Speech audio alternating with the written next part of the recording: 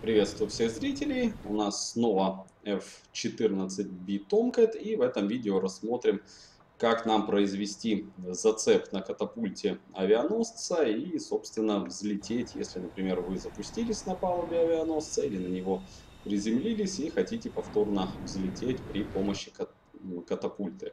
В принципе, процедура аналогична самолету F-18. Кто на нем пробовал взлет с авианосца, то процедура абсолютно идентичная самолету F-18, что F-14, что F-18.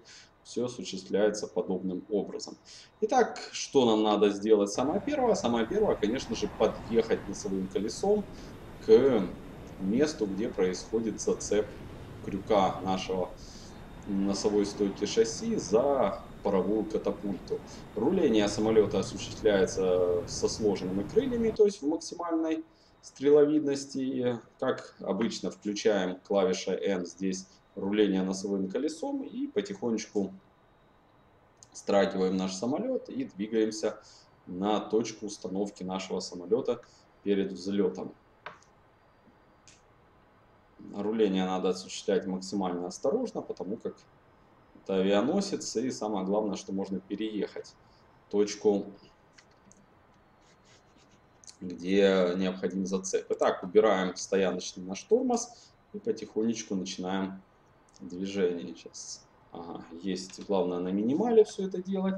Выставляем самолет вдоль оси паровой катапульты и аккуратненько подъезжаем месту зацепа. Конечно, рулится он очень так чувствительно.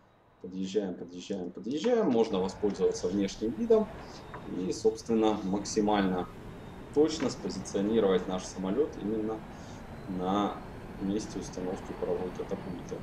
Сейчас это я и попробую сделать, но нужно, конечно, хорошо потренироваться и сделать это даже при виде из кабины. Но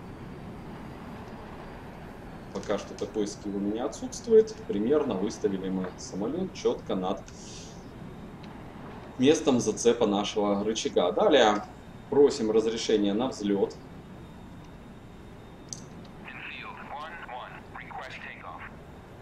И после того, как мы получаем разрешение на взлет, сзади, видим, поднимаются газоотбойные щитки. Теперь нам необходимо опустить крюк, который зацепит наше носовое шасси за ускоритель катапульты. Это осуществляется вот этим рычажком. Нажимаем его в нижнее положение, держим для того, чтобы наш крюк опустился. И видим, стойка шасси тоже опускается. Итак, крюк наш опустился, вроде как готов к зацепу. Далее мы нажимаем клавишу у английская для того, чтобы произошел наш зацеп самолета за непосредственно паровую катапульту. Все, есть зацеп, самолет наш зацеплен за катапульту. Теперь необходимо выпустить закрылки и поставить наши крылья в положение максимальной стреловидности. Для этого переводим рычаг вперед в режим автомат, опускаем его вниз и, собственно, закрываем крышечку. Также убеждаемся на панели управления э, стреловидностью, что стоит авто. И видим уже по индикатору, что наши крылья раздвинулись, то есть находятся в режиме автоматического управления стреловидностью. Дальше максимально закрылки, проверяем выход закрылки, предкрылки, самолет готов к взлету. Теперь нам надо сделать два действия, включим зеркала, чтобы это было видно. Первое, это выводим двигатели на максимальную форсажную тягу. И по достижении максимальной форсажной тяги нажимаем левый Ctrl плюс U. Это наш пилот дает отмашку на взлет. Отмашка получена и наш самолет